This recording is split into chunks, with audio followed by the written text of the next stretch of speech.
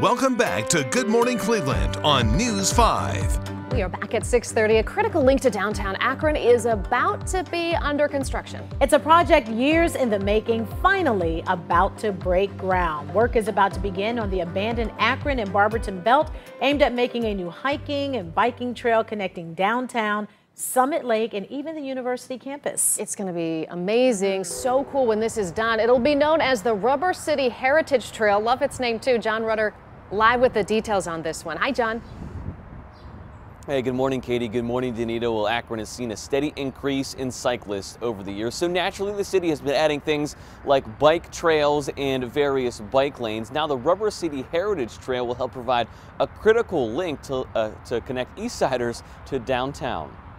From rails to trails. The city's certainly trying to grow our bicycle network. The city of Akron is putting the finishing touches on the first phase of the Rubber City Heritage Trail. It's got a long 800 foot, like old railroad trestle bridge that we're converting over, um, you know, to a bikeway bridge. The trail is being designed in phases as funding becomes available. Phase one will cost about $2 million, with roughly 700,000 of that price tag coming in federal funding once you start a phase, then in theory, it should be easier to get uh, funding to connect to an existing trail. The six mile path connects Akron's eastern suburbs with the heart of downtown and the University of Akron, with the first phase just under a mile in length, beginning near the site of the former Goodyear complex.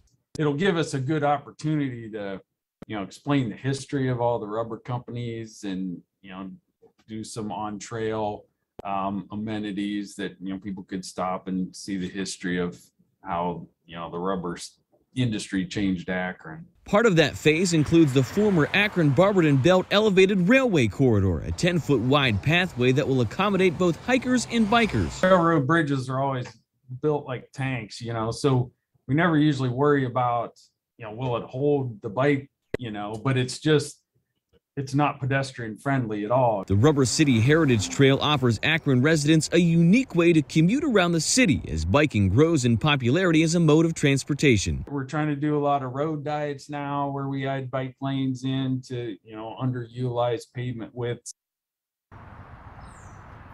Now, this is just one of about nine of these phases that will be developed over the next eight to 10 years. The first segment construction is expected to start sometime this fall. Danita.